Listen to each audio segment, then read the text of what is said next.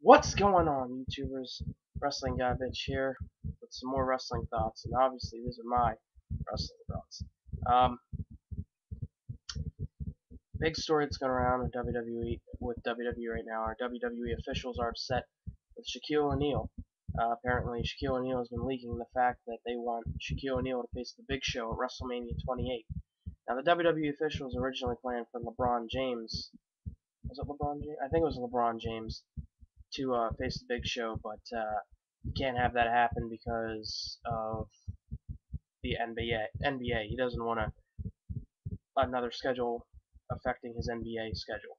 So, um, yeah, will there be a Shaquille O'Neal match, a Big Show match at WrestleMania 28 still? I don't know. Kind of hope there is because that, that'd be pretty cool uh, to see. Um, pretty much it. Uh, what are your guys' thoughts on this? Do you want to see a Shaquille O'Neal versus Big Show match or not? Put it in the comment box below. Alright, check you guys later. Hmm.